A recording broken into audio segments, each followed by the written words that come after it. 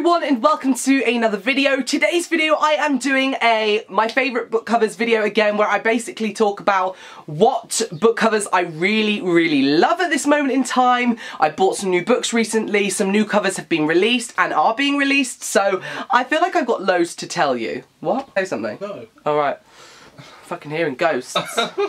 so first off, I'm actually starting with a mini cover reveal because the amazing author Kerr Ann Dempster, she has a sequel coming out to her book which I'm reading at the moment, The Reluctant Sacrifice, and it's called The Reluctant Huntress. So this is the cover. I've made it onto this video because of the purple, which is almost my favourite colour of the girl's face, and just the way it's all arranged on the cover I really love. So yes, here is the cover for Kerr Ann's sequel to The Reluctant Sacrifice. Now, The Reluctant Sacrifice is on sale at the moment for 99p, and we have a little thing going where if you download the book and post a picture on social media with the hashtag KirBen, then you can win some bookish swag from the author, and she'll be tweeting and Instagramming you and picking winners. So that's a fun little treat to start the video off with. So I'm going to start off with this book here. It's called Fellside by M.R. Carey. I literally know nothing about it except it's an adult fiction thriller, and it's by one of my favourite authors, authors, and there's literally one book out by this author called The Girl with All the Gifts, and I read it two years ago and absolutely died for it, so I had to buy this today, and what I really love about the cover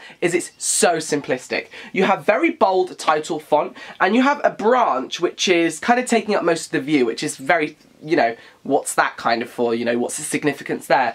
But in the background, there is a prison, and you can see the outline of a prison in the mist, and it very much gives you the sense that this is a thriller. You pick this book, book up and you know it's going to be a thriller slash horror, so it just speaks the story and genre perfectly. And also, Laini Taylor said you will not want to put this down, so the next book I am talking about is this, this Savage Song by V.E. Schwab.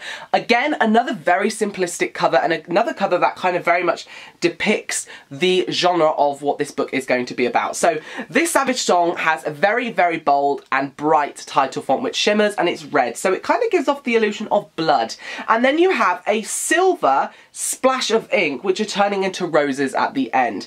It's something that's so simplistic yet very effective that I really, really love. And what I like about it is the whiteness contrasts with the white and the theme of the font also carries on with the red on the front, red and black, and the red on black on the back as well. So it's just, it's so simplistic and the spine is so nice on the shelf. Now this is a urban fantasy paranormal book I believe about demons and humans so you definitely get the feel from this that this is a bit of a paranormal with the blood and the title font especially gives off a very kind of vampire demon feel. Not that I'm saying vampires are in this book because I don't think they are but it definitely gives you that kind of feel when you're seeing it and I love that.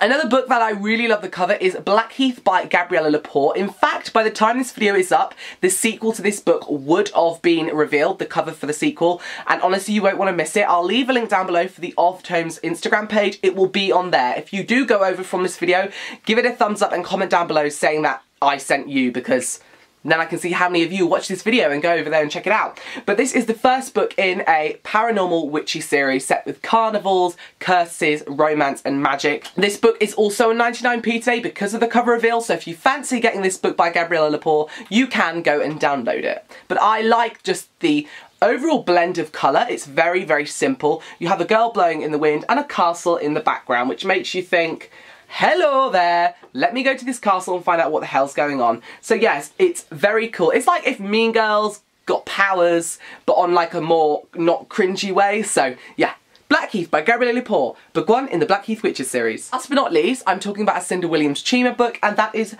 Warrior Heir. And what I like about this, again, is the simplicity of it. It's got a very, very background colour, which is blue, and it fades lighter in the middle, and you have this sword, which around it is smoke. What I like about it is you can tell that it's really been edited correctly. The smoke is wrapping around the sword. I like about the title font and the author's name are up the side, which is so unusual, and I like that there's some embellishments around the corners of the book as well. And don't forget it says New York Times bestseller at the front because Cinda Williams Chima is a boss. So there you have it, they're all the covers I'm talking about today. I've also mentioned some sales with the Reluctant Sacrifice and Blackheath for 99p. And I've also revealing covers with the one you saw in the video and one which you might be going and checking out over on Instagram down below.